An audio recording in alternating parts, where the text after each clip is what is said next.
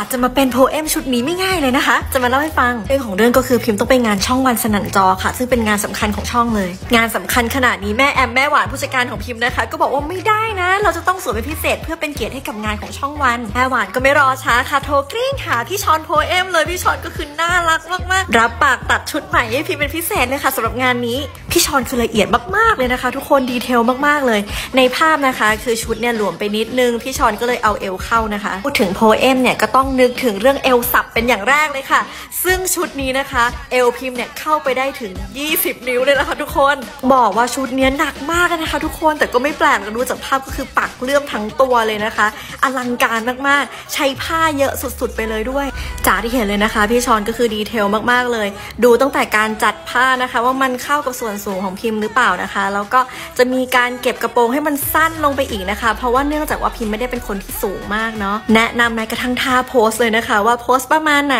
จะดูขายาวจะดูหุ่นดีนะคะ เอาจริงๆนะทุกคนสำหรับในภาพนะ พิมพ์ก็บอกว่าชุดนี้มันสวยมากๆแล้วนะ แต่พี่ชอนบอกว่ามันสามารถสวยกว่านี้ได้อีกและเขาอยากที่จะทำให้ชุดนี้มันเข้ากับพิมพ์มากที่สุดมากกว่านี้ ด้วยความละเอียดของพี่ชอนเนี่ยเขาก็สังเกตว่าเออแขนพิมพ์เนี่ยมันเล็กไปนะ มันควรที่จะใหญ่กว่านี้นิดนึง เพื่อที่มันจะได้ดูมีน้ำมีนวลพี่ชอนก็เลยดีไซน์เพิ่มเติมตรงช่วงแขนนะคะ ให้ไม่มีผ้าพันอยู่แบบนี้ เพื่อให้แขนพิมพ์เนี่ยดูไม่เล็กจนเกินไป แล้วมันดูพอดีขึ้นมาจริง ๆ ค่ะทุกคน หลังจากนั้นพี่ชอนก็ได้ให้ทีมนะคะ แก้ชุดตามที่ comment ไปเลยค่ะ ซึ่งพิมพ์ต้องกลับมา fitting ใหม่อีกรอบก่อนวันงานจริงนะคะ อันนี้เป็นวันที่มา fitting อีกครั้งหนึ่งนะคะบอกเลยว่าชุดเนี้ยใส่เองไม่ได้นะคะ ต้องใช้พนักงานใส่ถึง 2 คนเลยเพราะมันใส่ยากมากจริงๆเฮ้ยทุกคนรู้สึกเหมือนเราไหมว่าพอแก้มาเนี่ยมันสวยขึ้นกว่าคราวก่อนมากๆเลยจริง ๆ แล้วเรารู้สึกว่าแบบเนี้ยมันเข้ากับตัวเรามากกว่าด้วยยอมรับเลยว่าพี่ชอนเก่งมากจริง ๆ ขอบคุณมากๆเลยนะคะ ที่เสกชุดสวยๆให้พิมพ์ใส่ไปงาน